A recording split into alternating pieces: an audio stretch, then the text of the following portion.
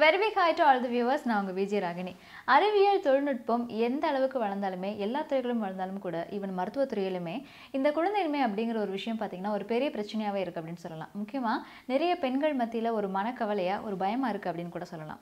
அதுக்கான கேள்விகளும் சந்தேகங்களும் ஒவ்வொரு நாளும் அதிகரிச்சுட்டே தாங்க இருக்குது இன்றைக்கி அதுக்கான விளக்கம் கொடுக்கறதுக்காக நம்ம கூட இருக்காங்க doctor V K MA medical ஃபவுண்டேஷனோட medical director அது மட்டும் இல்லாமல் doctor Archana IVF and women சென்டருடைய chief gynaecologist doctor Archana அவர்கள்.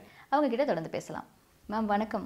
வணக்கம். எப்படி இருக்கீங்க? நல்லா ஸோ நான் சொல்லிட்டேன் இனிஷியலாகவே இந்த குழந்தையின்மை அப்படிங்கிற ஒரு விஷயம் பற்றி எல்லாருக்குமே குழந்தையின்மை அப்படின்னா என்ன அப்படிங்கிறது தெரியும். பட் ஸ்டில் அதுக்கான விளக்கங்கள் நம்ம கேட்டு தான் ஆகணும் இல்லையா? ஸோ இந்த குழந்தையின்மை அப்படின்னா என்ன?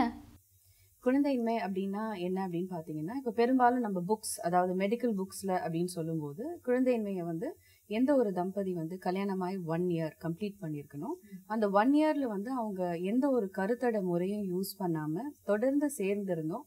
அவங்களால கன்சீவ் ஆக முடியல. அதாவது ஒரு குழந்தை பேர் அவங்களுக்கு இல்லை அப்படின்னும் போது அந்த மாதிரி கப்பில் தான் நம்ம குழந்தை இல்லாத தம்பதியினர் அப்படின்னு சொல்லுவோம். குழந்தையின்மைக்கான விளக்கம் அதுதான்.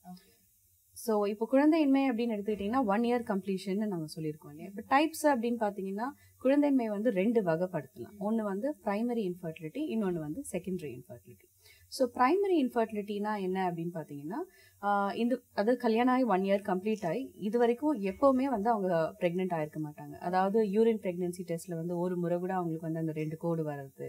இல்லைன்னா ஈவன் ஒன் டைம் அவங்க ப்ரெக்னென்சியே இல்லாமல் இருக்கிறது தான் ப்ரைமரி இன்ஃபர்டிலிட்டி அப்படின்னு நம்ம சொல்கிறோம் ஸோ செகண்டரி இன்ஃபர்டிலிட்டி அப்படின்னா என்னன்னு பார்த்தீங்கன்னா இப்போ கல்யாணமாகி அவங்களுக்கு எப்பயாவது வந்து யூரின் டெஸ்ட்ல வந்து ரெண்டு கோடு வந்திருக்கும். அதுக்கப்புறம் வந்து தானாக ஒரு ஒரு பத்து நாள் கழிச்சு ப்ளீடிங் வந்திருக்கலாம். அபார்ஷன்ஸ் ஆயிருக்கலாம். இல்லைனா ஒரு டூ மந்த்ஸ் த்ரீ மந்த்ஸ் கழிச்சு அபார்ஷன்ஸ் ஆயிருக்கலாம். தொடர்ந்து அபார்ஷன்ஸ் ஆகுறவங்க அதாவது கன்சீவ் ஆறாங்க அபார்ஷன் ஆகிறாங்க அந்த மாதிரி இருக்கிறவங்க அடுத்து என்னன்னு பார்த்தீங்கன்னா இப்போ மேரேஜ் ஆகி ஒரு குழந்தை இருக்கும். ரெண்டாவது குழந்தைக்கு அவங்க ட்ரை பண்ணும்போது அவங்களால கன்சீவ் ஆக முடியாமல் இருக்கலாம். இப்போ ஒன் இயர் வந்து ஆச்சு அப்படின்னா அவங்க அதை தொடர்ந்து ட்ரீட்மெண்ட் எடுத்துக்கணுமா? ஸோ இப்போ நான் ஆரம்பத்தில் அதனால தான் மெடிக்கல் புக்ஸ் அது அப்படின்னு சொன்னேன் இல்லையா? ஸோ அதாவது டெஃபினிஷன் ஆஃப் இன்ஃபர்டிலிட்டி அதாவது அதோடைய விளக்கம் தான் ஒன் இயர் அப்படின்னு நம்ம சொல்றது. இப்போ பெரும்பாலும் தம்பதிகள் அதாவது கப்பல்னு ஒருத்தவங்களை பார்த்தீங்கன்னா எல்லாருமே ஒரே ஏஜ் குரூப்ல இருக்க மாட்டாங்க இல்லையா? ஸோ ரீப்ரொடக்டிவ் ஏஜ் குரூப் அப்படின்னா என்னன்னா ஒரு டுவெண்ட்டி டு ஒரு தேர்ட்டி தேர்ட்டின்னு சொல்றது ரொம்ப அதிகமான வயசு தான் டுவெண்ட்டி எயிட்குள்ளே இருக்கிறவங்க தான் ரீப்ரொடக்டிவ் ஏஜ் குரூப்னு சொல்கிறோம் ஆனால் பெரும்பாலும் பெண்கள் பார்த்தீங்கன்னா இப்போ ஒர்க் ஸ்ட்ரெஸ்னாலையும் இல்லை மற்ற வேற காரணங்கள்னால வந்து மேரேஜஸே லேட்டாக பண்ணிக்கிறாங்க. இல்லைனா வந்து மேரேஜ் பண்ணிட்டு குழந்தை பெற்றுக்கிறத வந்து தள்ளி போடுறாங்க.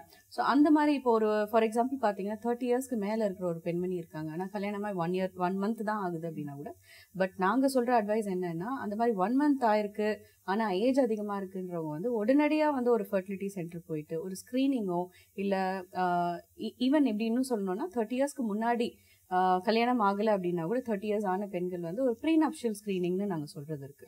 அதாவது அவங்களுக்கு வந்து இன்ஃபர்டிலிட்டிக்கான காசஸ் ஏதாவது இருக்கா? இல்லை அவங்கனால வந்து ஒரு குழந்தையை பெற்றுக்க முடியுமா? அப்படின்னு ஒரு ஒரு ஸ்க்ரீனிங் டெஸ்ட் செக்அப்ன்றது பண்ணிக்கிறது வந்து ரொம்ப நல்ல விஷயம்.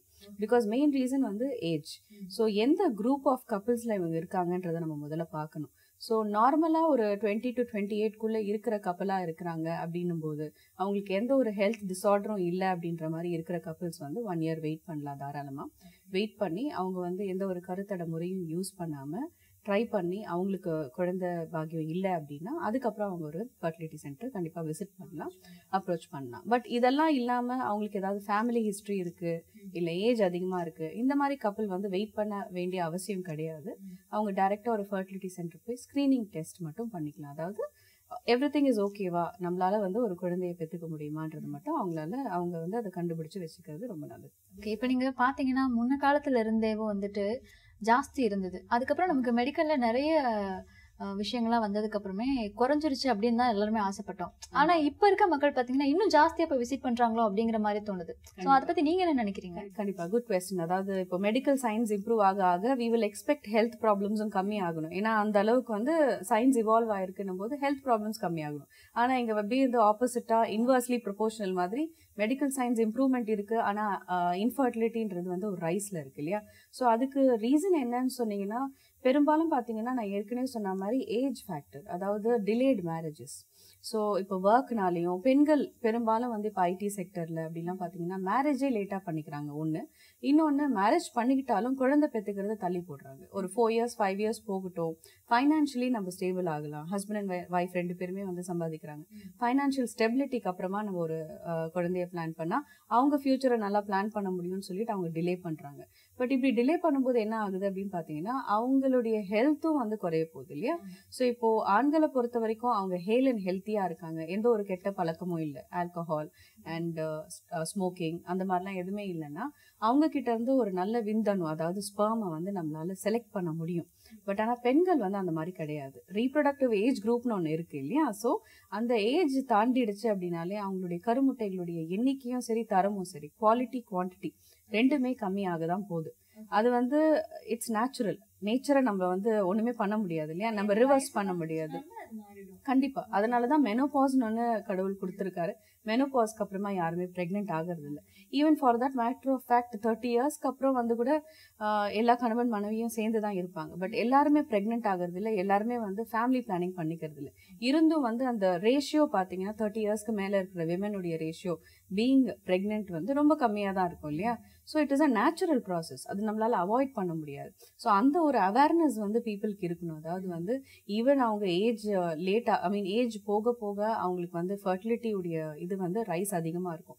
பெரும்பாலும் பார்த்தீங்கன்னா விசிட் பண்ணுற கப்பலுடைய ஏஜ் குரூப் பார்த்தீங்கன்னா டுவெண்ட்டி எயிட்டுக்கு மேலே இருக்கிறவங்க. அந்த மாதிரி பீப்புள் தான் வந்து விசிட் பண்ணுறாங்க இந்த ஐடி செக்டரில் இருக்கிறவங்க. இந்த மாதிரி பீப்புளுக்கு நிறைய இருக்குது இன்ஃபர்டிலிட்டி குழந்தையின்மைன்றது வந்து இன்சிடென்ட்ஸ் நிறையா. இன்னொன்று என்னன்னு பார்த்தீங்கன்னா ஒன்று வந்து delayed age and I mean sorry delayed marriage அப்படின்னு சொன்னேன் இல்லையா? ஏஜ் அதிகமாக இருக்கிறது. இன்னொன்று என்னன்னு பார்த்தீங்கன்னா இப்போ ஐடி செக்டரில் இருக்கிறாங்க அப்படின்னும் போது அவங்களுக்கு வந்து ஸ்ட்ரெஸ் அதிகமாக இருக்கு. கண்டிப்பா அவங்க எப்படி ஒர்க் பண்றாங்க எக்ஸாக்ட்லி அவங்க இப்போ ஃபார் எக்ஸாம்பிள் மேல் இன்ஃபர்டிலிட்டியுடைய காரணங்கள் அப்படின்னு எடுத்துக்கிட்டோம்னா இப்போ ஹீட் அதிகமாக இருக்கிற இடத்துல வேலை செய்யறது இல்லை இந்த லேப்டாப்ஸ் அண்ட் செல்போன்ஸ் எல்லாம் வந்து அவங்க மடியில வச்சுக்கிறது பாக்கெட்ஸ்ல வைக்கிறதுனால வந்து அவங்களுடைய கவுண்ட் டிக்ரீஸ் ஆகுறது ஒர்க் லைஃப் ஸ்டைல் அப்படியே மாறிடுது இல்லையா அவங்களுக்கு வந்து. So lifestyle changes lifestyle சேஞ்சஸ்னும் போது obesity so that is also reason why infertility's on the rise and எல்லாத்தையும் விட இன்னொரு காரணம் என்னன்னா அவேர்னஸ் சோஷியல் மீடியா இன்டர்நெட் இதனால வந்து அவேர்னஸ் நிறைய இருக்கு எல்லாருக்குமே. And everybody is tensed so இப்போ எல்லாருமே இன்ஃபர்டிலிட்டி அப்படின்றாங்களே யாரை பார்த்தாலும் டபிள்யூஹெச்ஓ ஸ்டாண்டர்ட்ஸ் படி பார்த்தீங்கன்னா ஆறில் ஒன்று அதாவது six கப்புள்ஸில் one person is affected by இன்ஃபர்டிலிட்டின்னு சொல்கிறாங்க ஸோ இப்போ நம்ம சுற்றி இருக்கிறவங்களையே வந்து ஒரு ஒரு ஃபேமிலியில் இருக்காங்கன்னா ஒரு ஃபேமிலியில் ஒரு ரெண்டு பேருக்கு இன்ஃபர்டிலிட்டி இருக்குன்னும் போது எவ்ரிபடி இஸ் வரிட் அப்போ நம்மளுக்கு இருக்குமோன்ற ஒரு பயத்தினாலேயே number of people visiting the centre வந்து mean any fertility centre is increasing ஒரு அவேர்னஸ் இருக்கிறதுனால everybody wants to be sure or can be wait இன்னும் கொஞ்ச நாள் நம்மளால வெயிட் பண்ண முடியுமான்ற ஒரு இதில் வந்து they are wait so ma'am இந்த குழந்தையின்மை அப்படிங்கிறதுக்கான ஒரு முக்கிய விளக்கம் என்ன அப்படிங்கிறதையும் சொல்லிட்டீங்க. அதுக்கான காரணங்கள் என்ன அப்படிங்கிறதையும் ரொம்ப தெளிவாக சொல்லியிருக்கீங்க. Thank you so much ma'am for your time thank you so viewers இன்றைக்கி நீங்கள் பார்த்தீங்க அப்படின்னா அந்த குழந்தையின்மை அப்படிங்கிற ஒரு விஷயம் என்ன? அது என்னென்ன காரணிகள்னால உருவாது அப்படிங்கிறத சொல்லிட்டாங்க. ஸோ நான் கேட்ட கேள்விகள் எல்லாமே உங்களுக்கு பயனுள்ளதாக இருக்கும் அப்படின்னு நம்புறேன். இந்த எபிசோட் இதோட முடியுது. இதை தொடர்ந்து இதுக்கான கேள்விகள் அப்படிங்கிறது இன்னும் வரப்போகிற எபிசோடில் இருக்குது until then bye from Ragini